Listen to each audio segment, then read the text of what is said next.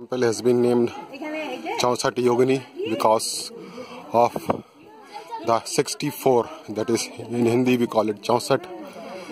64 yoginis around Lord Shiva's temple and Lord Shiva's temple is in center and the history says that Akbar's commander Afzal Khan when invaded this Gondwana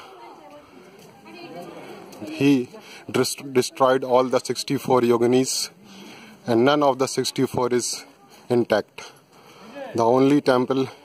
in the center of Lord Shiva was saved because by that time the army of Rani Durgavati came and it is also said that the beehive